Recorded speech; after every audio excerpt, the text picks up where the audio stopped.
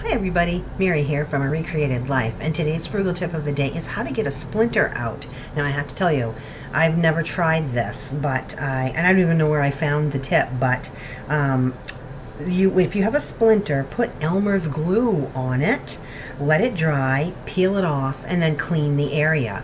Um, I kind of wonder about this one because I, I don't know how how that would be. If you you know if you got a wound you got a glue on it I don't know how that would be. But I will tell you that I've had some splinters that were real stinkers to get out.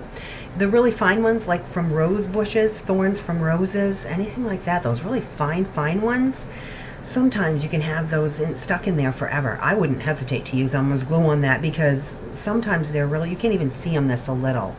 Um, so just make sure you clean the area properly I guess and you should be fine Okay, guys, I hope this helps. Please like, share, and subscribe. Thank you, subscribers. I love you guys. And welcome, new viewers. Um, I'm glad that you are here to check me out. I hope you like it. I hope this video helps everybody, and I will see you guys tomorrow.